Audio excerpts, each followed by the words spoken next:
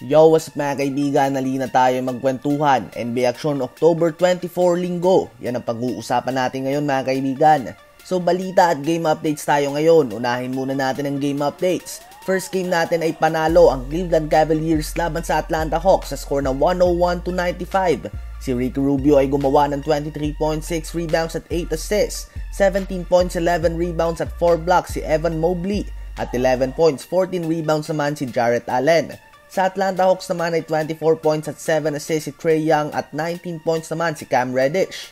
Nakuha din ng Indiana Pacers ang overtime win laban sa Miami Heat sa score na 102 to 91. Si Duarte ay gumawa ng 19 points, 18 points at 14 rebounds si Malcolm Brogdon, 18 points at 9 rebounds din si Brissett, at 17 points, 12 rebounds naman kay Sabonis. Sa Heat naman ay 30 points at 10 rebounds si Tyler Hero off the bench. 19.6 rebounds at 6 assists si Jimmy Butler at 17 points, 16 rebounds naman si Bam Adebayo.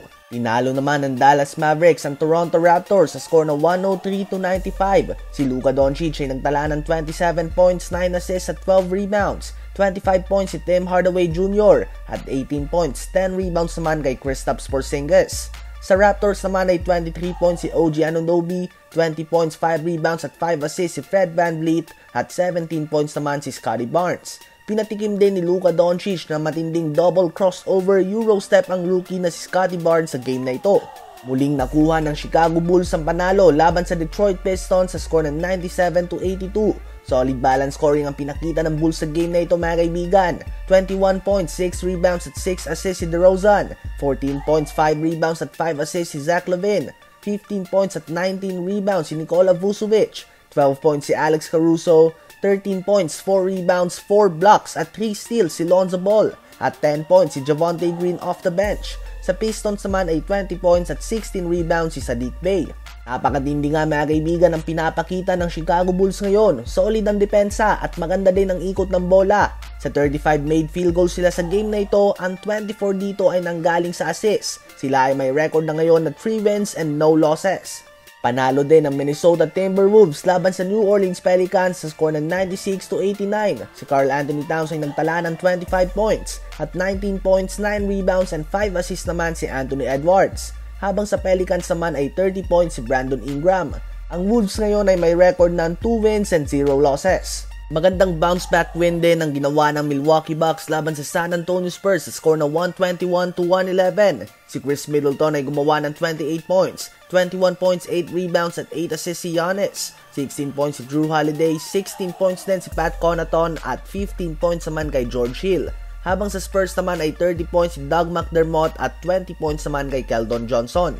Tinambakan din ng Portland Trailblazers ang Phoenix Suns sa score ng 135 to 104. Si CJ McCollum ay gumawa ng 28 points at 19 points naman si Damian Lillard. Habang sa Suns naman ay 21 points si Devin Booker at 14 points naman kay Mikal Bridges. At sa ating last game ay muling natanggap ng Clippers ang talo laban sa Memphis Grizzlies sa score na 120 to 114. Si Jamorant ay gumawa ng 28 points at 8 assists, 22 points si Melton, 21 points si Jaron Jackson, 19 points si Bane at 17 points naman si Steven Adams. Sa Clippers naman ay 41 points at 10 rebounds si Paul George at 17 points naman kay Reggie Jackson.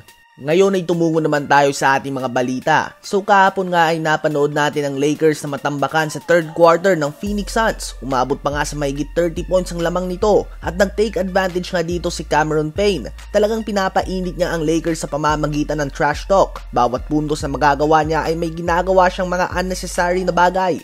At may clip nga kung saan nagpapalitan ng trash talk sa Lebron at campaign. Ilalagay ko na lang ang link sa baba upang mapanood nyo din dahil posible nga tayong makopyright strike dyan. Sinabihan ni Lebron si campaign na maging humble daw ito. One year and a half ago daw ay nasa bahay lang ito at walang team at ngayon ay gusto na daw nitong mag-angas. Well, technically, tama naman si Lebron. Ngunit simple lang naman itong palitan ng salita. Kung nakanood ka na nga ng NBA, PBA, ligang labas o kahit limahan lang, madalas mangyari ang mga ganitong bagay. Kung nagbabasketball ka nga o kaya naman naglalaro ng kahit anong sport, maiintindihan mo ang frustration sa part ni Lebron. Hindi ko nga alam kung na-experience na yung ganito mga kaibigan. Yung naglalaro kayo, tinatambakan na nga kayo at ang yabang pa ng kalaban nyo. At ang mas nakakainis dito, eh wala kang magagawa dahil talagang tinatalo kayo nito. Ganun pa man malamang ay hindi na nga ito bago kay Lebron. Tiyak nga na madami na siyang naka-encounter na mga player na katulad ni Campaign, yung mga galing talaga na magpainit ng kalaban. Ano ba ang masasabi nyo tungkol dito? At ngayon naman ay pag-usapan natin ang kakaibang ensayo na ginagawa ni Stephen Curry. Ayon sa kanyang trainer, tuwing nag ensayo ngayon si Curry ay hindi na sapat ng simpleng shoot lang. Dapat umano ay swak ito at hindi dumidikit sa ring. Kapag dumikit nga daw ito sa ring ay kinukonsider niya ito bilang mintes. Ang tindi nga nito mga kaibigan, yung tipong sobrang dali na para sa iyo magpa-shoot ng 3 points kaya naman gumawa ka na lamang ng sarili mong rules upang mas ma-challenge ka.